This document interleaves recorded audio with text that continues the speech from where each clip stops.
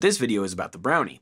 The Brownie was released earlier this year and it allows you to control the voltage uh, that your amp receives. You see most modern tube amps run most optimally between 117 volts and 120 volts, with many people agreeing that the sweet spot is actually that 117 volts. The benefit of the Brownie is that it allows you to decrease the voltage that your amplifier receives by up to 7 volts, or it also allows you to increase the voltage by up to 5 volts. So I picked four gigs that seemed to be the most diverse in terms of where the power might be coming from. This first one was a kind of festival in the area. And as you can see, we're sitting around 119. And so it was just a quick little click down. The next place I took it was to a boutique guitar builder in my area called Rask Guitars. But as you can see, we're sitting and settling around 123.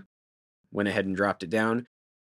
This next one was interesting. This is a local club called Velour Live Music Gallery, and right out of the wall, we were getting 117 during sound check. However, when I went on and did my actual set, it had dropped down to 115, and it was the first time that I actually had to use the Brownie to increase the amount of voltage that my amp needed. And lastly, this one was a bigger stage and probably the most professional setting of all of them.